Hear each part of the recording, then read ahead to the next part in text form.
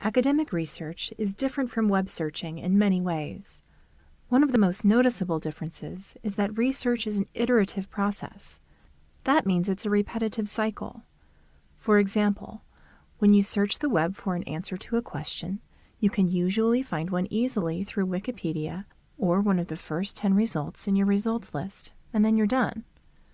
When you are researching, you have to continually reframe the topic, try different search terms, and refine your results in order to sift through irrelevant information.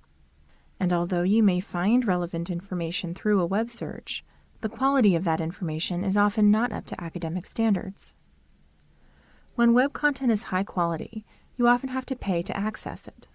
The best place to begin academic research is through your campus library. The libraries can give you access to hundreds of databases and other sources for free, which you can't access through the internet alone.